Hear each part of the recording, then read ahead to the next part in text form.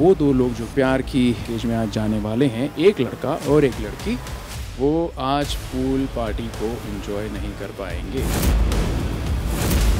लड़ाई का षड्यंत्र अब शुरू होने वाला है। मेरा पॉइंट ऑफ़ व्यू अंकिता प्यार के पिंजरे में जाएगी बिकॉज़ यहाँ पे सब लोग ने बहुत मेहनत की है और चीज़ें की है।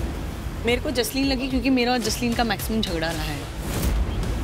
इसलिए संजना का नाम ले रही हूँ क्योंकि बहुत ज़्यादा तमाशा हो गया था। आपने बहुत गंदी गंदी बातें बोली है मुझे यहाँ पर जब वो टास्क हुआ था आपने भी बोली आपने- यार। मैं जाता हूँ पिंजरे में। अगर जुआ है तो खेलते हैं हर आदमी ये बोलता है मेरे को कि तू सेफ़ खेल रहा है सेफ़ खेल रहा है। चलो देखते ना क्या होता है।